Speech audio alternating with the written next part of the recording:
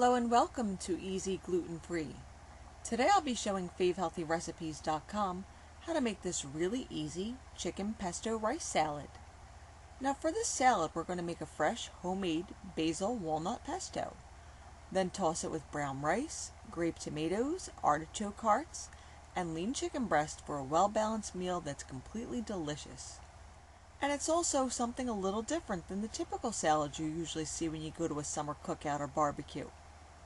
Alright, to make this we're going to need 12 ounces of diced chicken breast that you've stirred together with some salt and pepper to taste, about an eighth of a teaspoon of garlic powder, and a quarter teaspoon of paprika.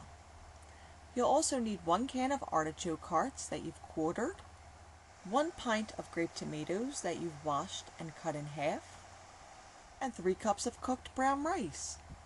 Now I actually used minute brown rice just to save time and I even cooked it following the microwave instructions, and it came out perfectly. But you could use whatever you want.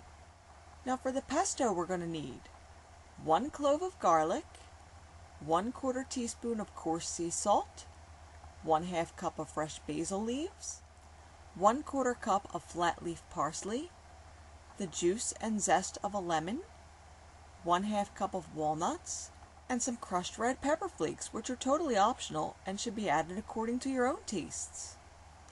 We'll also need about 3 tablespoons of olive oil. Alright, now to make this, in a large non-stick skillet over a medium-high heat, add the seasoned diced chicken, along with a tablespoon of olive oil, and saute the chicken, stirring occasionally until you no longer see any pink, and it develops a light golden brown color. It'll take about 5 to 7 minutes. Then remove the chicken from the pan and set it aside. Now to make the pesto, I used a mortar and pestle.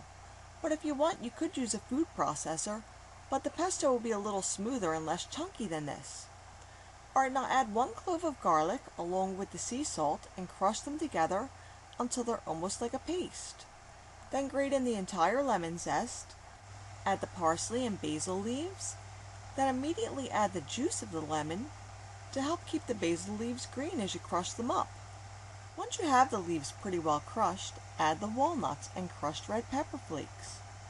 Then crush them together until the pieces are as small as you want. Then add the olive oil and stir it all together and set it aside.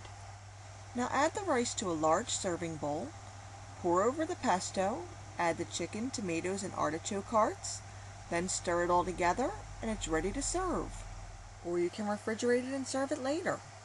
But if you're going to serve it from the chilled state, I find that it's best to take it out of the fridge about a half an hour before serving, just to get the rice a little closer to room temperature. And if you want to save even more time, you can always make this when you have some leftover chicken breast hanging around. Then you can just dice it up and stir it into the salad.